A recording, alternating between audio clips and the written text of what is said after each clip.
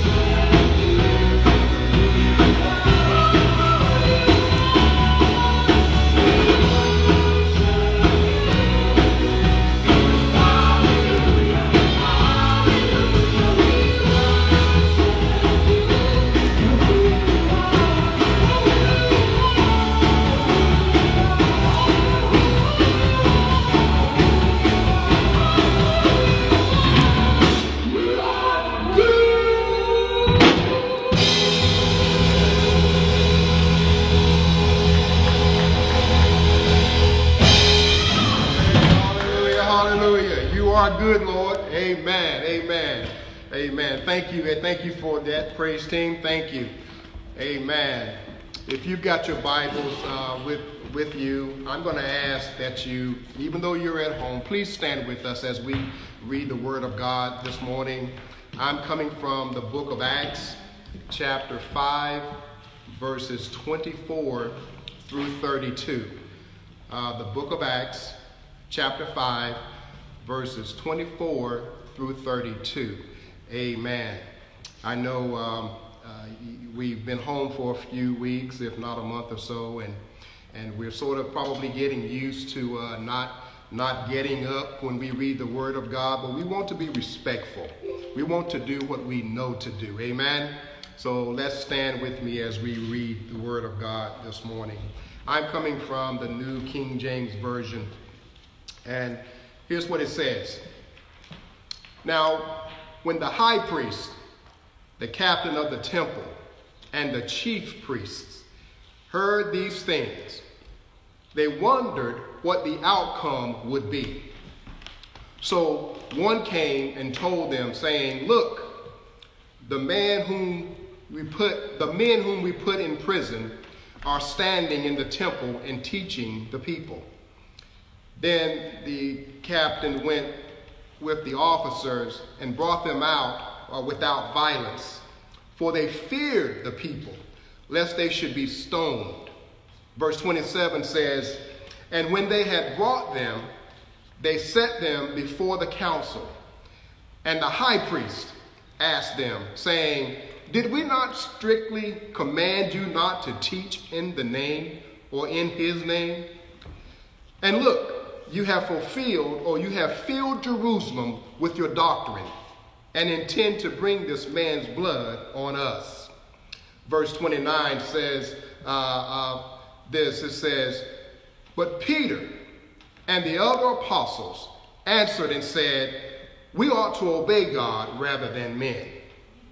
The good of our the God of our fathers raised up Jesus, whom you murdered by hanging him on a tree. Him God has exalted to his right hand to be prince and savior, yeah. to give repentance to Israel and forgiveness of sins. Yeah. That last verse in the passage says, And we are his witnesses to these things, and so also is the Holy Spirit, whom God has given to those who obey him. Amen. Let's pray to the Lord. Father, thank you, God, for this day and for rising, raising us up this morning, God, allowing us to rise and to, to meet here that we may be obedient, God, and bring your word. Bring your word and song, and, and then, God, to deliver the message that you have given. Use it, Father, to loose shackles this morning. Use your word, Father God, to, to, to loose those, God, who are held captive. God, change lives this morning, save souls this morning. For that, God, we say thank you in advance. We glorify your name now, and we give this hour over to you. Have your way in Jesus' name.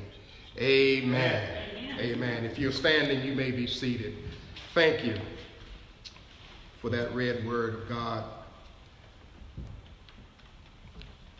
There is a saying that you may not be that familiar with in fact, I had to do a little research on it. This particular Sunday after Easter, this first Sunday after Easter, is unofficially called Empty Pew Sunday. How do you like that? Empty Pew Sunday. In some churches, it's called Renewal Sunday. Uh, for those who doubt to renew their faith in the Lord. It's also called the octave or the octave, octave of Easter. In other words, eight days after Easter. Uh, it, it, is, it is in the Catholic Church called Divine Mercy Sunday. Nevertheless, it's, it's unofficially called Empty Pew Sunday. As I, as I look out, I see rows of empty pews and, and it's so fitting because literally there are just a few of us here. So fitting. It's amazing how God orchestrates things to have such a meaning on the exact day. Uh, uh, some of you have become antsy, I know, because you may be feeling, I, I know in my household we're feeling a little antsy. Uh, it's, it's, getting harder and harder to stay home and, and it's, getting, it's getting harder to, to keep our distance. And it, it, but but no, nevertheless, some of you are just plain tired. It, has been about a month or so. It's, it's, it's been about a month of, of enclosure, a month of isolation, a month of social distancing. But listen, while you're antsy, while you're tired, um, don't, don't allow yourselves to fall short on the Lord. Uh, I know you're antsy. Uh, I, I, see people coming and going. I see people starting to do to become a little bit more active. Um, but here's the problem: cracks have began to develop in our character. Cracks have began to show up in our personalities, in our attitudes, and and warning signs are now visible. If you listen to the news, Mecklenburg County put out its latest statistics, which reveal that liquor sales are on the rise. They're up 29% since the last, over the last four months, uh, four weeks. And there is an 18% increase in domestic violence, uh, those calls that are coming into 911. Cracks are starting to show up. Now, listen, uh, more so than ever before, your witness for Jesus Christ is paramount.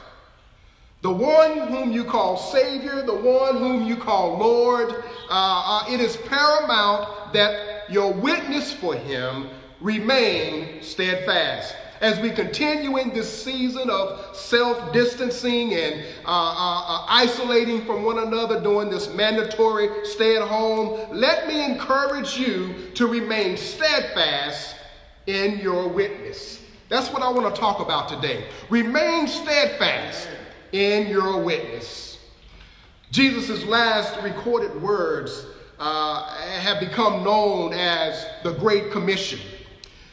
You shall be witnesses to me in Jerusalem and, and in all of Judea and Samaria and to the furthest ends of the earth. The word says, uh, You shall be witnesses unto me. In the book of Acts, Luke wrote the story, story after story of, of the men and women who took the commission seriously and began to spread the word of God all over what they knew as the earth. That is, uh, at, their time, their world consisted of uh, villages in and around uh, Israel. Uh, in Israel, in and around Jerusalem, such as Judea, Judea and uh, Samaria, Damascus, Damascus, and Bethlehem, just to name a few. Today, you and I, I have the, the distinct honor of furthering that great commission uh, throughout the entire world. Can you imagine? Just like the apostles in that day, we have the distinct honor of sharing God's word, being a witness for Him. We are privileged individuals to have the benefit of the world geology classes and all types of globes and maps and paper maps, and now they have electronic maps and modern voice activated applications that can take you anywhere in the world in just a few seconds. Virtually, of course. All you've got to do is say, I don't hear anything. What? All you've got to do is just call out and say, and you won't hear anything. But if you say the magic word, if you say, Show me India, guess what? India will pop up on your screen. If you say, Show me South Africa, guess what? South Africa will show up on your screen. All you got to do is speak your voice these days. All you've got to do is say a few commands. We're living in such a time that we're privileged. We have the honor, we have the application to go anywhere in this world. Just speak the commands Amen. and see once you arrive at the doorsteps. You can now click on the little man in yellow, drop him down on the street right in front of the location where you want to be. Then you can take the navigations and, and, and move, pan to the left, pan to the right, and you can see the doorsteps. You can see the building number. You can actually see people who were in the photo during the time it was taken. That's how privileged we are. That's how technology has advanced. We can go anywhere now. Our world is just not uh, uh, uh, held to just a few villages or a few uh, surrounding communities of Charlotte, North Carolina, or, or, or in, the, in the United States. No, we have the entire world to spread God's word. Amen.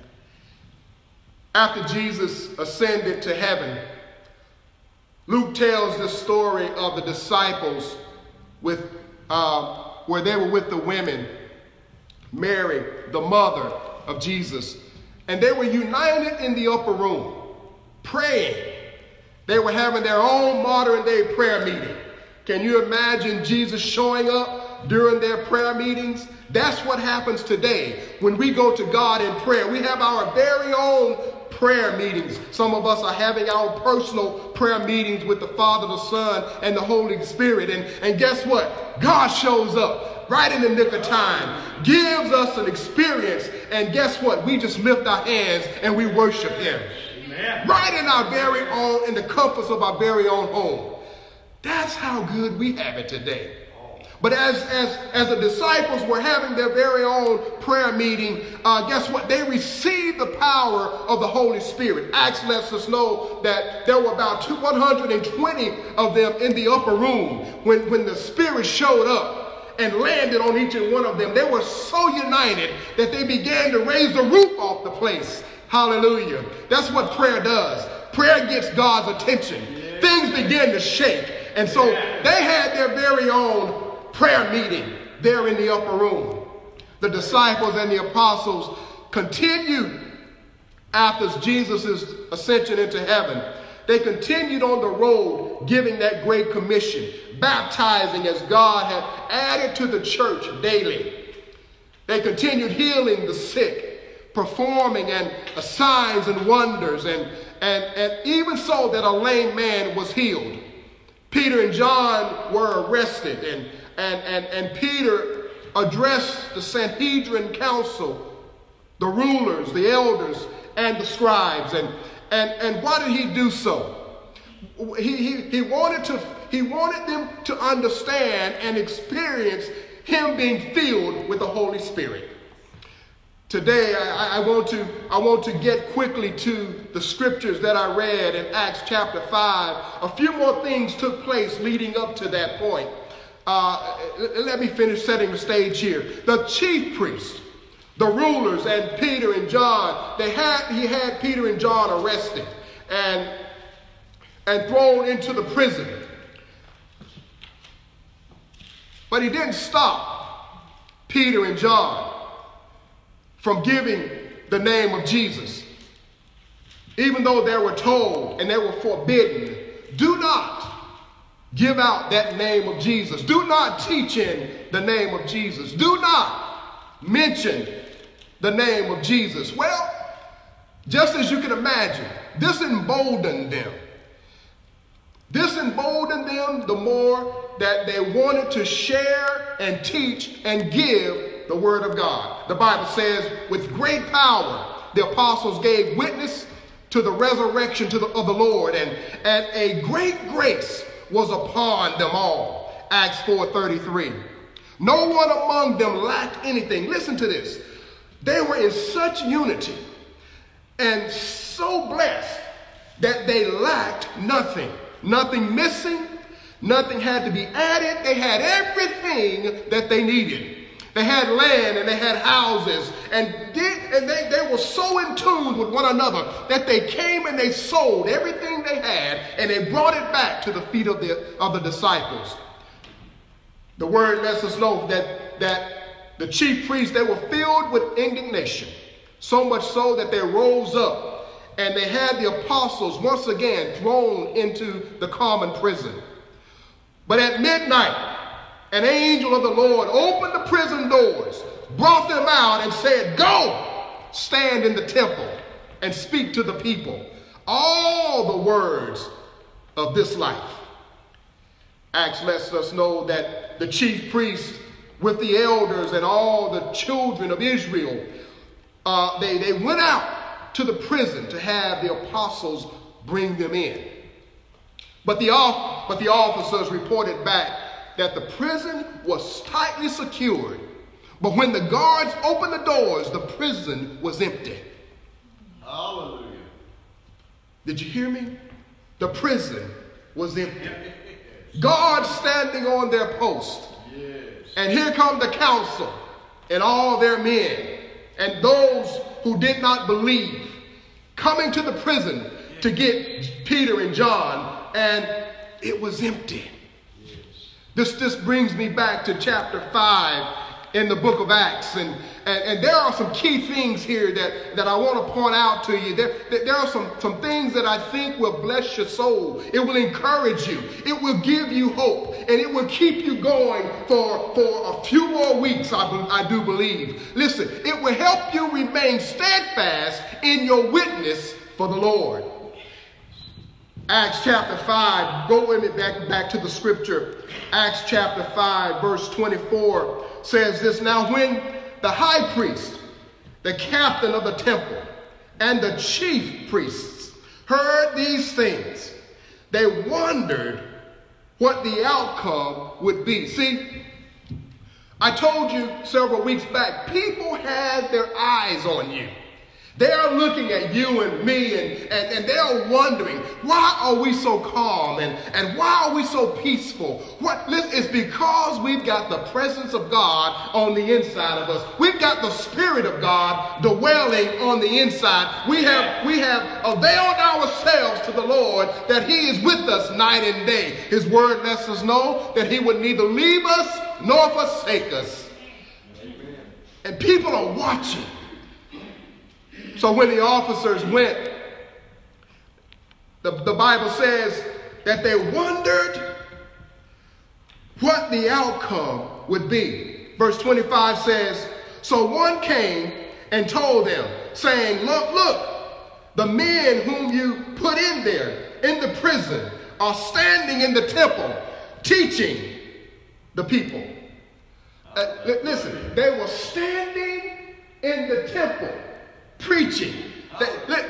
can you imagine? That, that's why the council was a little concerned. They, they didn't know what to do, what to expect, because they weren't where, the, where Peter and John had been put, but yet here they are out in the yeah. temple yeah. preaching, teaching the word of God. Yeah. Teaching the word of God. The, the, listen, Psalms 51 says, says, Then I will teach transgressors your ways and sinners shall be converted to you, Lord. Listen, not only do we get to teach Jesus' word, not only do we get to, to model, but listen, we, we get to model Christ. We get to put on Jesus. We get to roll around and, and, and, and run around and we get to say, look at me, uh, not boasting, but yet just showing off Jesus because we're sons and daughters of the Most High God. Amen. See, we get to do that today. Yeah.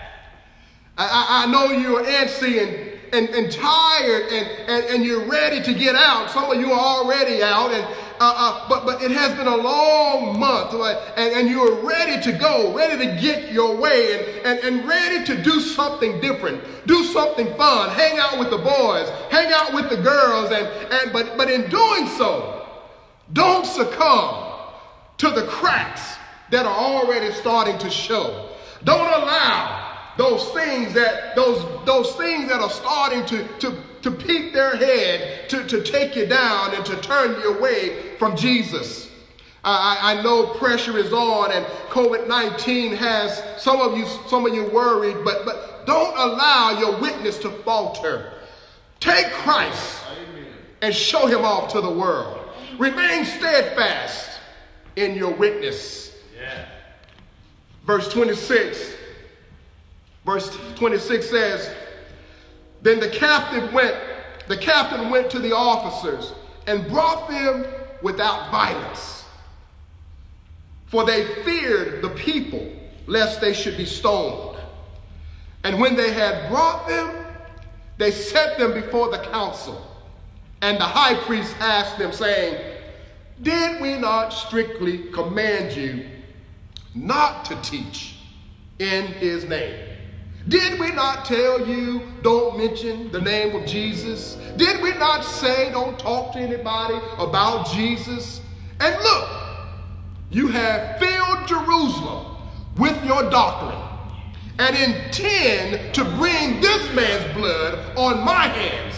Uh, as witnesses, uh, you get to tell your story. Uh, Acts 4.20 says, For we cannot but speak the things which we have seen and heard. Uh, as a witness for Jesus, tell your story today, your, your, your, testimony. You owe it to God to spread the story that He has given you. Listen, listen to me. No one, no one can say they don't have a story to tell. If you're breathing, God has blessed you. It, it, listen, if you're standing today, if you're able to look around today, if you're listening to this video today, God has blessed you.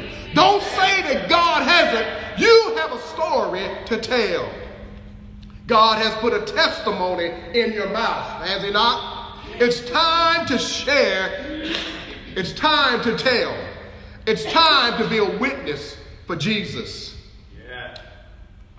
Verse 29 says, But Peter and the other apostles answered and said, We ought to obey God rather than man.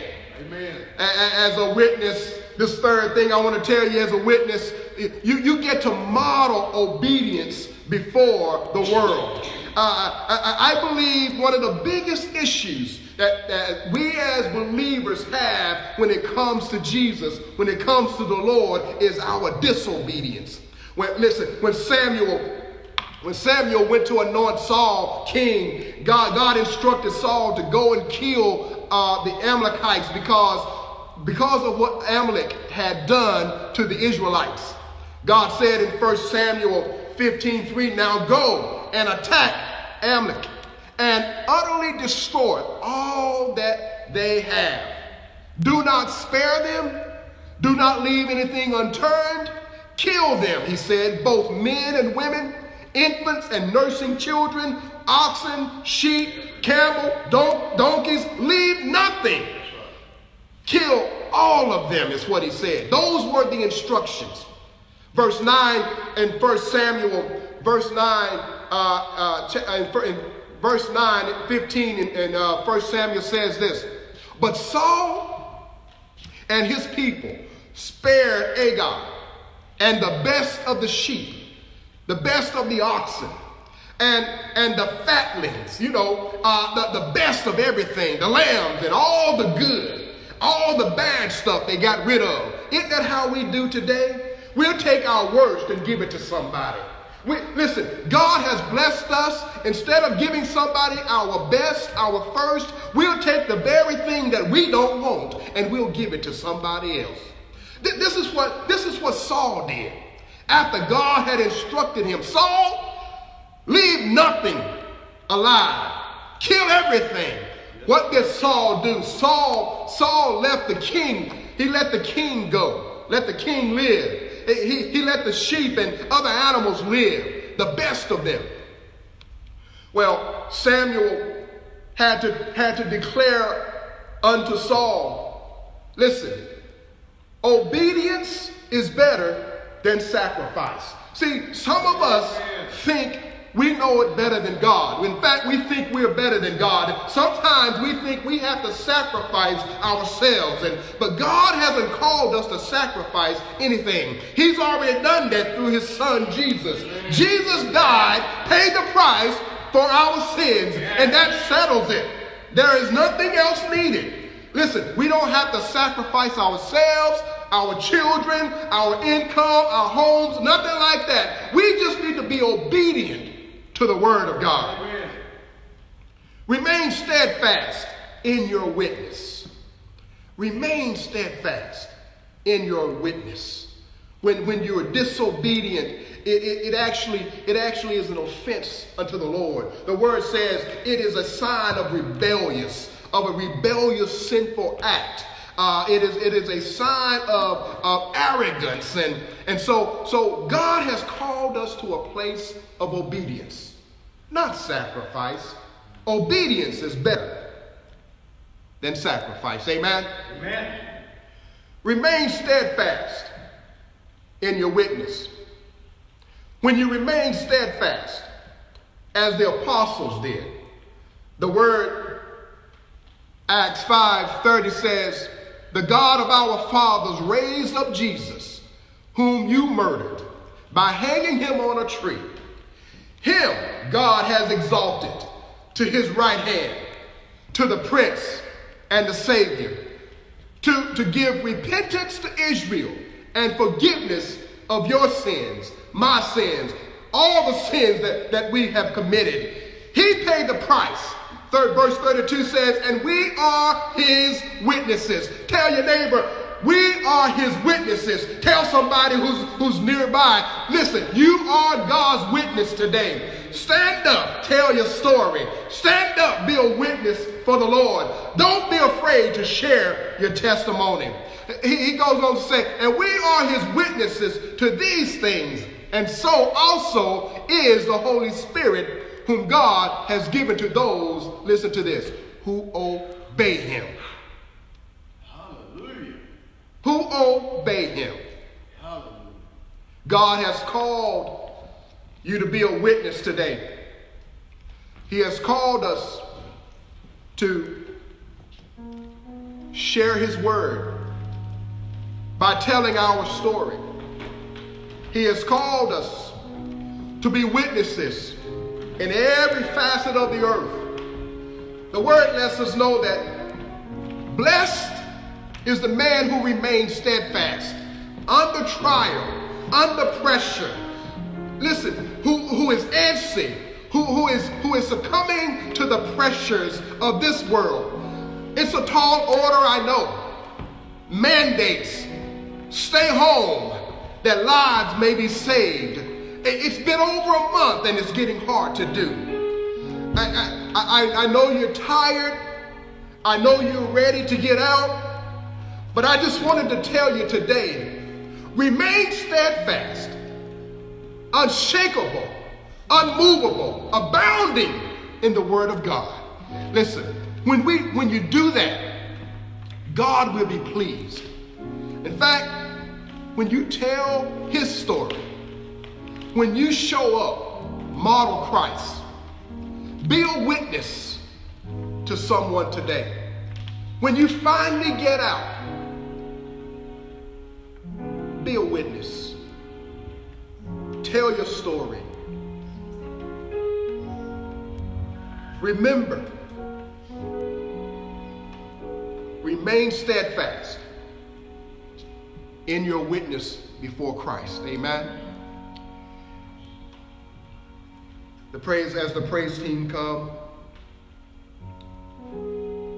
I'm going to ask them to come in their own way softly. I want to say this if if you don't have a story to tell, let me share mine, and maybe it will encourage you. I grew up in the church and sang the songs of Zion in the church, played in and around and outside the church until I got ready to go off to college. It wasn't until I got to college befriended a young man by the name of Juan Dennis, who became also my, uh, my roommate. It was because he had something that I saw in him that I didn't have in myself, and that was Jesus. Juan Dennis, who has become one of my best friends, he introduced me to Jesus. See, Jesus wasn't lost, I was. And I can tell you today, my story is this. Since I found Jesus, who wasn't lost, I was lost. Since Jesus came into my life, my life hasn't been the same since. In fact, it has been better. God has made a difference in my life. I know you have a story to tell. If you don't have a relationship with Jesus, will you invite him into your heart today? Just repeat after me Father, thank you for dying for my sins. Jesus, come into my heart, save me. I believe you died, was buried, rose on the third day, and you are now in heaven with God. Thank you, Jesus, for saving me. Amen. If you recited, repeated after me that simple, short prayer, brothers and sisters, you are saved. Go out to hoskinsabc.com and let us know who you are and connect with us on our website. Uh, there you find instructions on how to give and sow into our ministry. Will you do so? We thank you today. Now, let us prepare to be dismissed. After the benediction, the praise team will continue to sing. Father, thank you for this word today. Thank you. Thank you, Father God, for the message of encouraging um, words that will help us in this time of isolation. Now that the cracks are starting to show in some of the others, sin is starting to raise the rates of the statistics and may we god be the jesus that others need to see. Thank you for reminding us to remain steadfast. So god that our witness will speak for you. We thank you today. Now unto him who is able to keep us from falling and to present us faultless before the presence of his glory with exceeding joy, to the only wise God, our Savior, be glory and majesty, dominion and power, both now and forever. And all God's people said, Amen. Amen. Amen. Enjoy the worship praise team.